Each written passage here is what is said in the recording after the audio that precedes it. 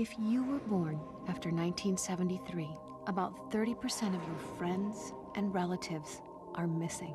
Since the Supreme Court approved legal abortions 30 years ago, nearly one of every three babies was aborted. That means 43 million US children, teens, and young adults are missing. While we know how all of them disappeared, we will never know what they had to offer life. See what we've been missing.